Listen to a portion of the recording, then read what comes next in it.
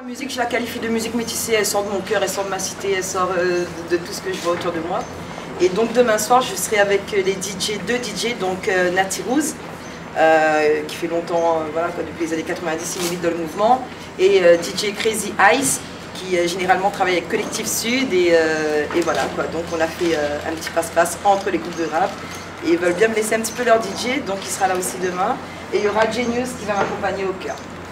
Ce soir, ben, je suis en, demain, tantôt, je suis avec euh, DJ Gollum. En fait, de Israël Production, Gollum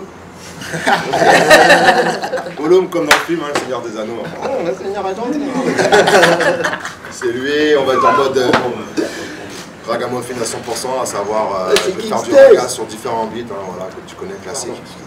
J'ai rien à vendre, euh, rien à promotionner là tout de suite. Donc je viens jouer vraiment 100% freestyle pour la musique sur euh, du raga, sur du dubstep, sur la drum and bass, sur la jungle. Le but c'est que ça trace.